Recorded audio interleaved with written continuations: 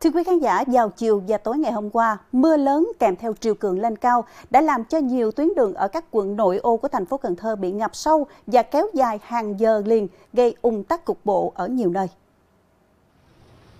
Nhiều đoạn đường, khu dân cư ở quận Ninh Kiều ngập khoảng 40cm đến 50cm. Đến 18 giờ, nước mưa không thoát kịp, trung với nước triều dâng cao thêm ở nhiều tuyến đường.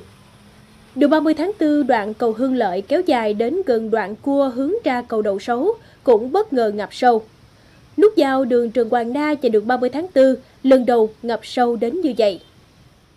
Lực lượng quân sự, ờ, ban chỉ huy sự phường Hưng Lợi à, điều động toàn bộ lực lượng 100% ờ, lực lượng ờ, chiến sĩ dân quân thường trực là ra kết hợp cùng đoàn phường cũng như là công an phường để triển khai bằng ba chốt là ở ngã tư Trần Hoàng Nam 30 tháng 4 ngã tư Nguyễn Văn Linh 30 tháng 4 và một ờ, chốt ở Tập Du Hưng Lợi.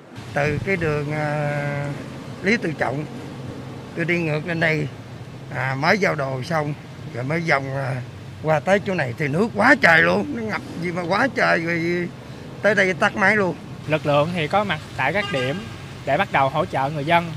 Đa số thì à, cái giờ đó, đó là giờ cao điểm cho nên là người dân tan làm với lại là một số trường à, còn à, đi học cho nên là cũng hỗ trợ cho người dân là ở à, xa ở các cái điểm trường hay là điểm cơ quan xí nghiệp mà có ngập sâu.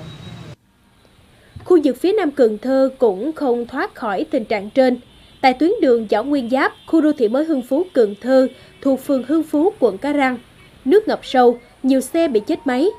Trước may tại đây có đội hỗ trợ cứu hộ miễn phí, giúp bà con khởi động lại xe và tiếp tục hành trình về nhà. Tôi đi làm từ đoạn đường 56 về Hưng Phú. Tới ờ, công trình 8 được ờ, bị nước ngập, xe bị hư. Nhờ ờ, mà đội sửa xe đồ hỗ trợ dùm tôi trong lòng tôi thấy thoải mái, vui vẻ.